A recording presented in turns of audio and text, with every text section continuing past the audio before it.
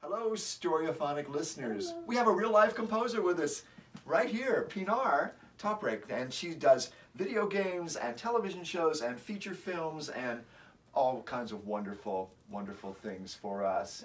And you just came back from England and you were where? Abbey Road. And what were you doing at Abbey Road? I was recording a, a score for a Netflix original film called The Angel. Um, should be coming out, I think, in the fall sometime. Great, Yeah. great.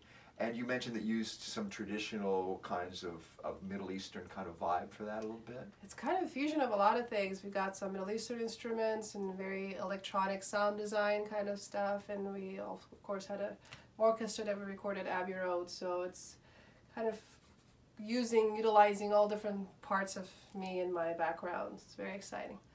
That's great, and that's what music does for you. Yes. There you go. Join us on Storyophonic, and you'll hear more about this.